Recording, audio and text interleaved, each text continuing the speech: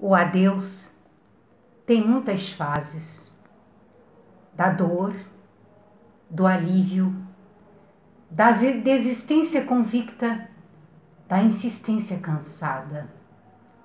O adeus tem as nuances das possibilidades seguintes, reais e inventadas.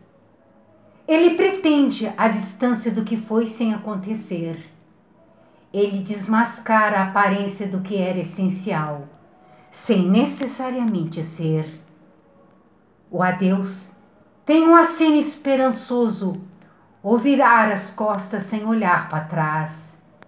Ele tenta desfazer uma chama que já não aquecia mais. Que as despedidas nos recomecem.